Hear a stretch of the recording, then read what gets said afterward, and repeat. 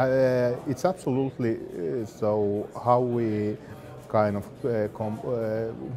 comply us with the kind of changing digitalization world when kind of uh, technology is developing, when actually uh, things are more automated, how to uh, develop your people and skills to kind of meet the challenges and in general how and what kind of decisions for example for the processes you should have for the future.